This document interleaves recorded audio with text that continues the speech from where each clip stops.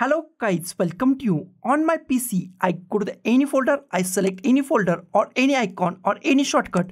I find one checkbox when I click on that folder or icon and this happened to entire PC. I go to the anywhere, I go to the this PC.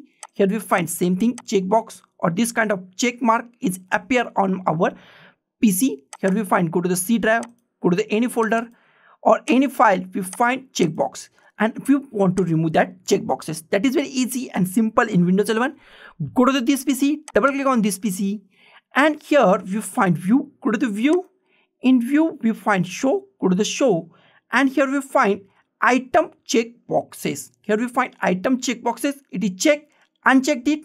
It is checked then uncheck it.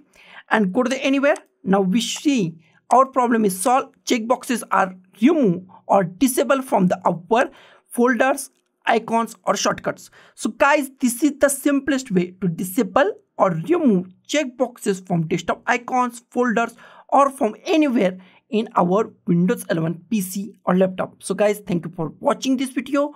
Don't forget to like, share, comment on this video and don't forget to subscribe the channel. Thank you guys.